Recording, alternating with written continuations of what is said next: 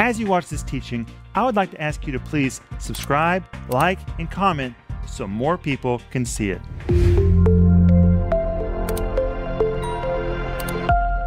Welcome to Home Group. This is Rick Renner, and tonight I'm here with Denise Renner, Maxime, and Joel Renner. Welcome, guys, to Home Group. Thank you, Rick and Home Group. Welcome. We're so glad that you're with us. And we just want you to take in everything that we're learning about the rest of the story. Well, actually, Christmas. I, and I want them to get the download Oh. free. I know, free. Denise, it's like a whole book. It's 124 pages in a study guide. Joel, that is amazing. That's a lot of pages for a study guide. We worked very hard on this and we're wanting to give it to you. All you have to do is go to renner.org and you can download it right now. You can use it to read, to teach, to share. It is amazing. And it comes with the whole series, which is 15 parts. You can get an audio or video. I highly recommend that you get it in some visual form because in the very beginning of every single program, I'm filming on location in Israel at where all of these amazing sites took place. It's worth the whole series just to see these locations. Well, and Rick, there's so much precious information that we're sh- sharing that sometimes you can forget it. But if you if you download that study guide, then you'll have it, and and you'll be able to refresh your memory and think about it because really powerful things. And right now, we're also offering my book, Sparkling Gems number two, Sparkling Gems number one. I know you're thinking about what to get people for Christmas. I cannot imagine a, a better gift than Sparkling Gems. Denise, I see these books all over the world in pastors' offices, in the homes of families. So many people read Sparkling Gems. And when you first see it, it looks a little intimidating because of its size but you don't read the whole thing at once. It's a daily devotional. You just read a little piece every day, and it's very easy to do. It's called Sparkling Gems because it's filled with gems from the New Testament. By the time you get finished with this, you're going to feel like you've been to Bible school on a daily basis. Isn't it amazing? Oh, I love sparkling gems. I love sparkling. You know what I do when I get those books in my hands? what do you do? I open up my birthday. Ah, a lot of people go straight for their lot of people birthday. Yes. A lot of people. Those are great books, wonderful books, and they're filled with stories, wonderful, relatable stories from your life, of course.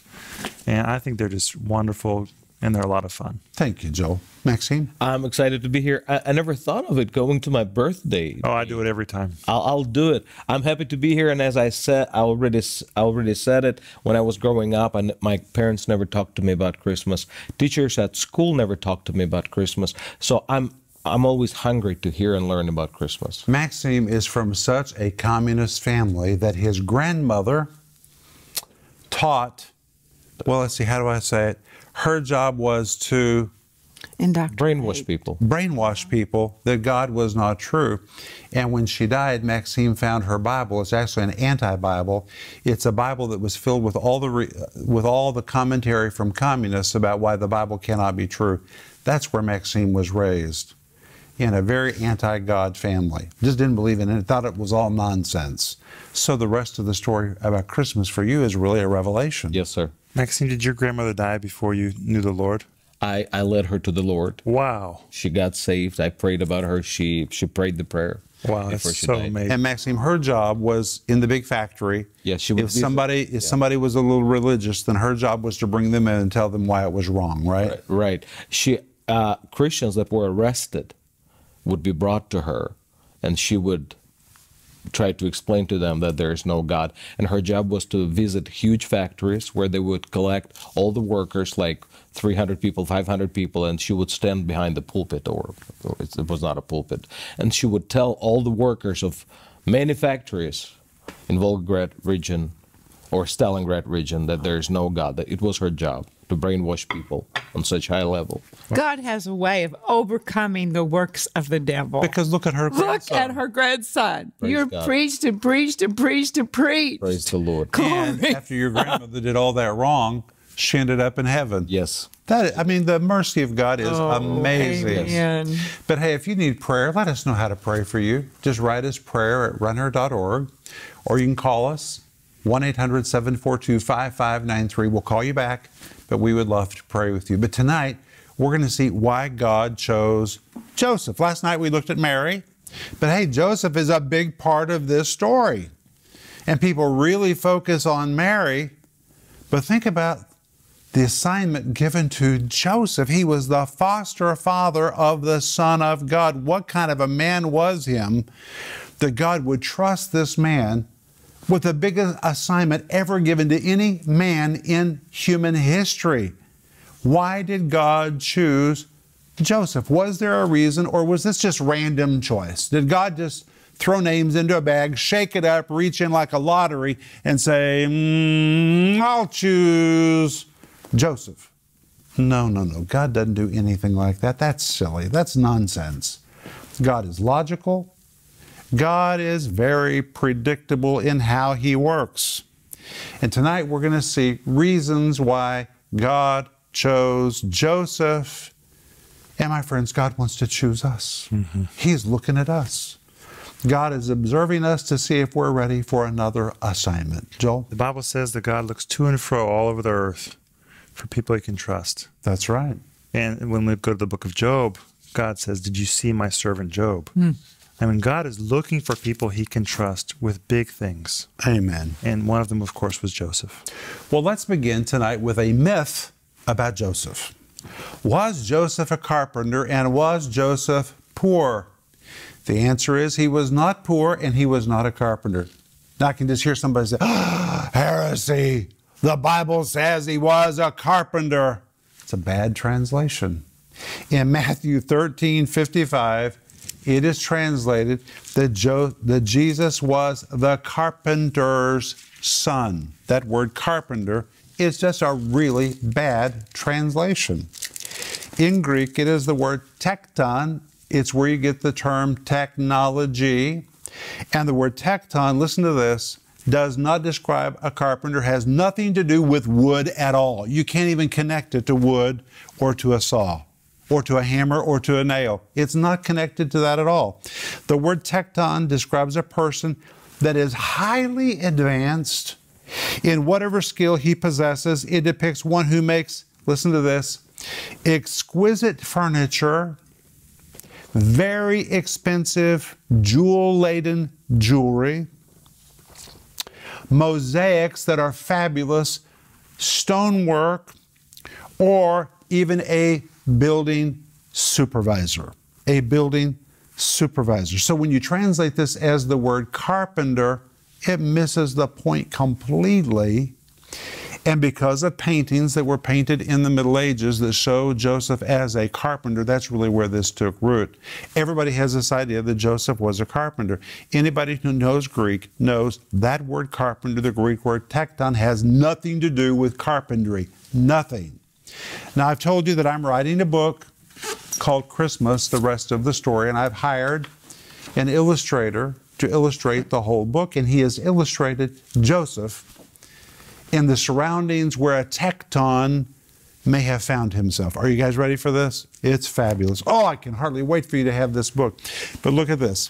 This shows Joseph not as a poor man, but he was a well to do, very successful professional. Here he's standing with architectural maps in his hands, designs, instruments, a beautiful table because the word tekton could be somebody who described exquisite furniture. It's got jewelry on the table because a tekton could have made exquisite jewelry. It has a building project in the background because he could have been a building supervisor. And in fact, Joseph lived in Nazareth. Guess what? There was no work in Nazareth. If you've ever been to Nazareth, you know there's nothing in Nazareth. There's just nothing there, especially for a tekton. Where would a person like a tekton, a highly advanced professional, where would he work in Nazareth? Well, there's no work in Nazareth, but nearby, four miles away, was the city of Sepphoris. And Sepphoris was being constructed at that time, and the Herod who was building it was committed that it would become the banking center of the Middle East. He wanted it to be the ornament of Galilee, and that's what it became. And the building works taking place in Sepphoris at that time were enormous. And if you go to Sepphoris, you'll see that there's a theater, there's a central street, a gate. In fact, this entire illustration is built on the real architectural layout of the ancient city of Sepphoris. And here's Joseph right in the middle of it, surrounded by things that he would have been involved in, including furniture, mosaics, stonework, building works, architectural plans, jewelry. All of these things were potential professions for Joseph. He was not a poor carpenter working in some little carpenter shop hidden in Nazareth. There was no work in Nazareth. He worked in Sepphoris. Joel? Thinking about modern day, you know, in Moscow we have something called Moscow City where there are such tall, tall, tall skyscrapers. And when I hear you explain what a tekton is and who Joseph was, that professional, I think about Joseph was in modern day's world was probably the architect of these tall, tall, tall skyscrapers. He wasn't a metal worker or a rivet worker. He wasn't someone working with those drills. He was probably someone who managed building 100, 200 tall skyscrapers. In today's world. In today's world, if, if we could do that. But I think it's just amazing how we think that Joseph had a wooden table where he was doing wood chips, wood chips, and Jesus was playing under the table, helping him get saws. Joel, that's based on a bad translation and paintings painted in the Middle Ages. People base their whole faith on paintings. You know what they base their faith on? Greeting cards. Because you get these greeting cards with pictures of the Nativity. Everybody thinks they know what the Nativity looked like because of what's on a greeting card, but you're going to find out the greeting cards are all wrong. They're all wrong. They're pretty, but they're not right. But Joseph was working in Sepphoris. Now, stay with me. Sepphoris was magnificent, and most scholars believe this word tekton probably indicates he was a building supervisor. Well, you have to remember that Mary lived in Sepphoris with her parents. That's where she lived. Her father was the scroll scholar in one of the most luxurious synagogues in all of Israel, a center so important that when Jerusalem fell in the year 70, all the spiritual education moved to the city of Sepphoris. The Sanhedrin moved to the city of Sepphoris. And it was Mary's father who really had laid the groundwork for all that spiritual education and ongoing learning in the city of Sepphoris. And it is most likely that Mary's parents saw this young man and said, Wow, he would be an amazing husband for our daughter.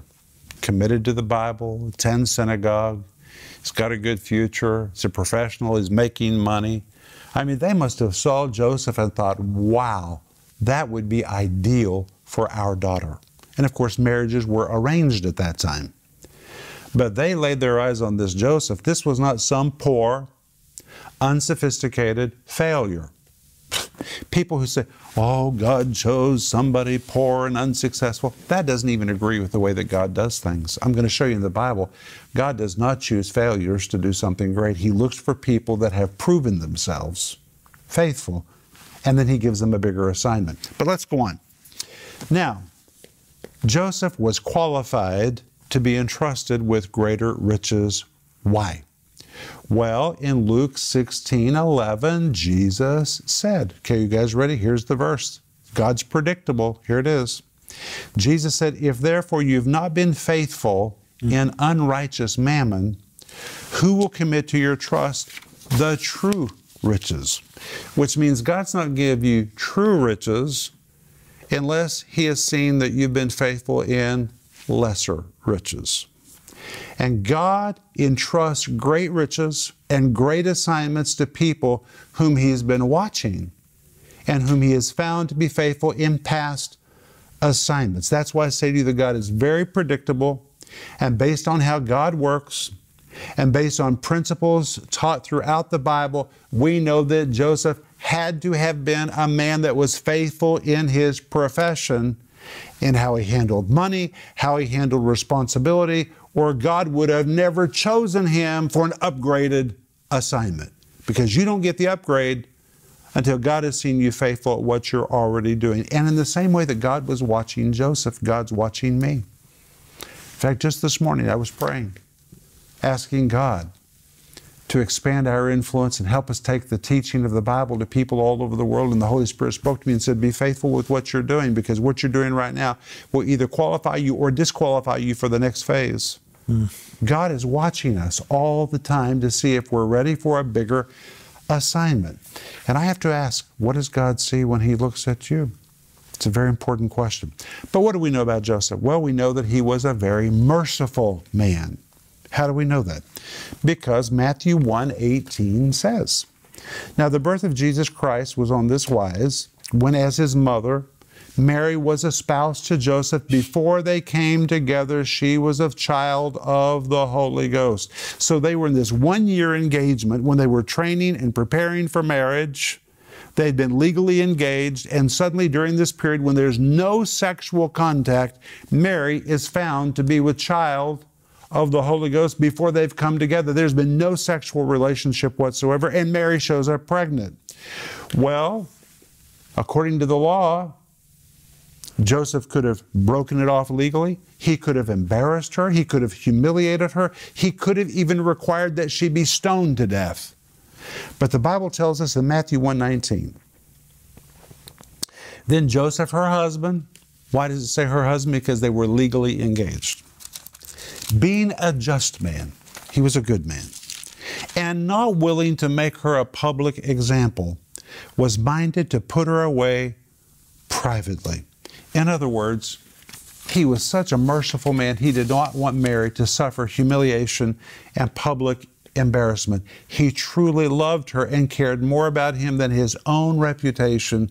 This shows what a merciful and kind man Joseph was, which means when God looked for a foster father for his son, he looked for someone that was not abusive, somebody that was not harsh, someone that would be kind and would be merciful. That's the kind of father he wanted Jesus to have in this earthly realm. Joel? I think it's interesting that before Mary became pregnant, the angel t- spoke to her. But to Joseph, uh, it was like God gave him the last test. How would he respond to Mary's pregnancy? Because the angel only appeared to Joseph after he considered what he was going to do, and he fell asleep. And I think that's very interesting. God is testing us all the time, and we don't know when the last test will be before we get our promotion. But I think it's very important to know that we're being watched. God is watching us, and we can be found faithful in whatever we do.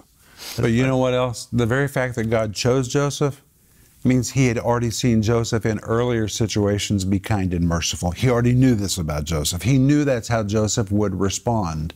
This was no random choice, this was nothing accidental. God already knew this about Joseph. But let's go on.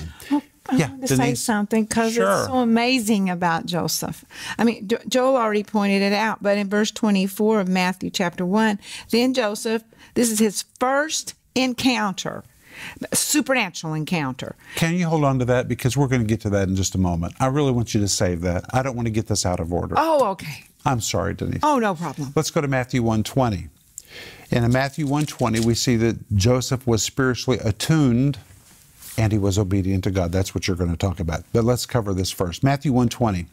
While he thought on these things, behold, the angel of the Lord appeared to him in a dream, saying, Joseph, thou son of David, fear not to take unto thee Mary, thy wife, for that which is conceived in her is of the Holy Ghost. Now, here's what I want you to hear. He was so spiritually attuned that even in a very difficult situation, he was able to hear the voice of God.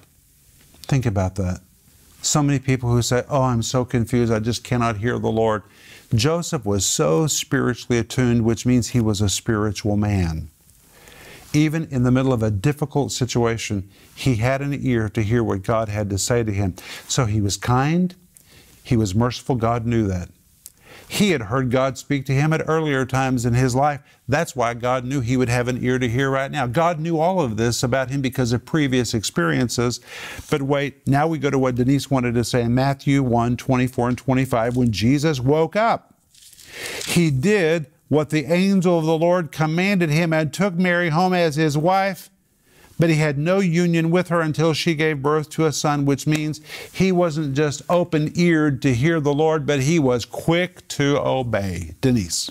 I, in studying this, I was just thinking about Joseph one day, about how tuned, you said that word, Rick, but how tuned he was.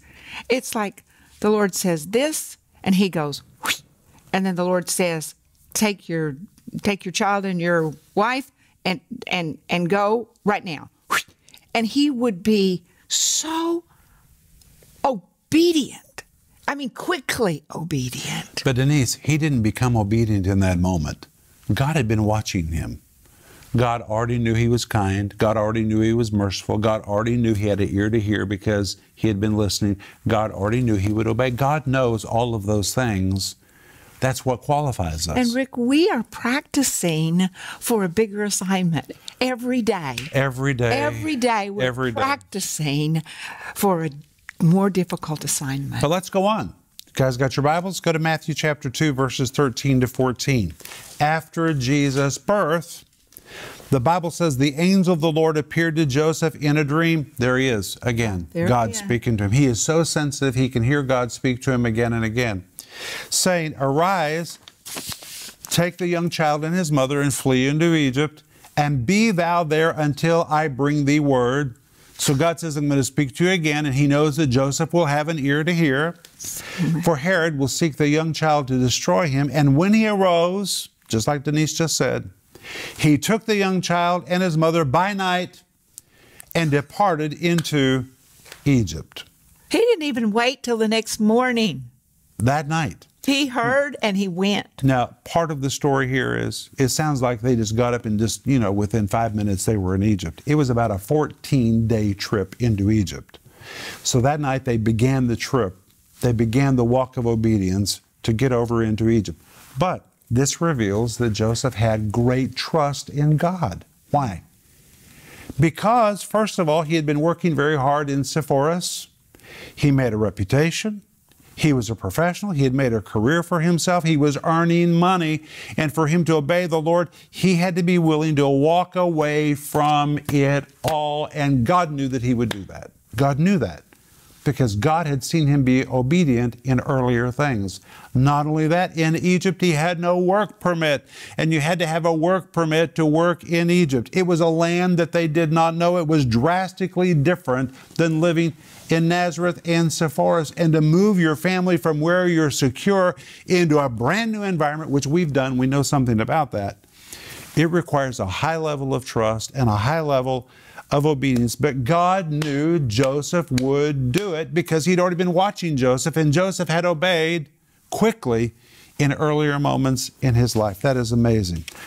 What does your level of obedience reveal about you? God's watching. God already knows, but he's watching. And Joseph was a spiritual leader for his family. How do we know that? Because in Luke chapter 2, verses 41 and 42, the Bible tells us, listen to this. Now, Jesus' parents went to Jerusalem every year at the feast of the Passover.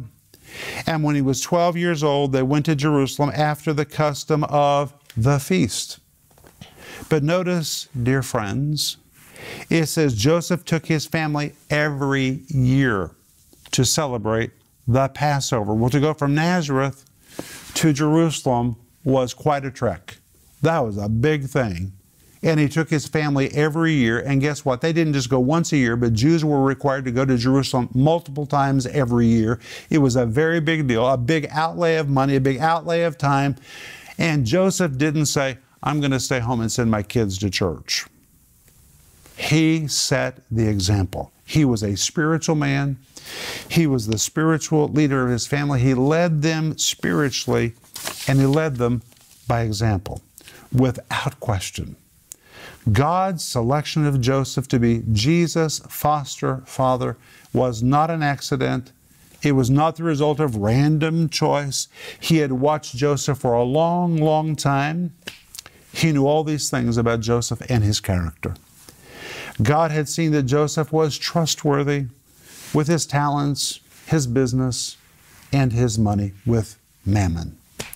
He had watched Joseph be merciful earlier in life instead of being judgmental. Hmm. He knew Joseph would have an ear to hear him. He knew that Joseph would be quick to obey. He knew that Joseph would be the spiritual leader of his family. Joseph had a track record with God. And just like God had his eyes on Joseph, God has his eyes on me. He's got his eyes on Denise, on Maxime, on Joel. He's got his eyes on you to see if we're ready for an upgrade in our assignment. And let me tell you something, friends this testing never stops. For example, one of these days we're going to all go to heaven.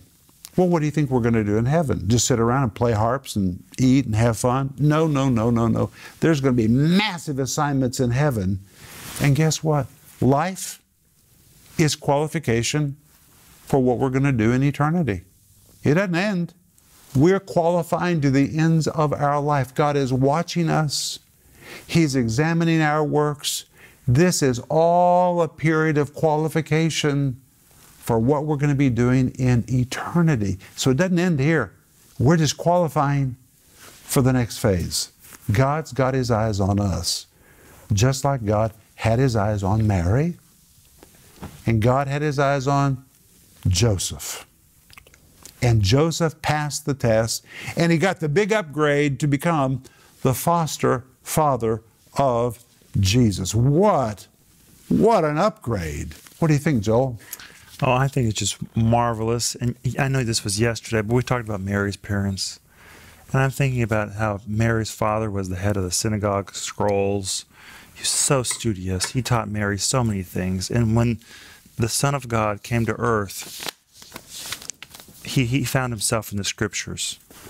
And I'm sure that Jesus' grandfather probably taught him the scriptures and, That is so wonderful. and helped Jesus find himself because Jesus' birth was miraculous. And I'm absolutely certain that Mary's father, Jesus' grandfather, knew that what happened is no accident and because he knew the scriptures.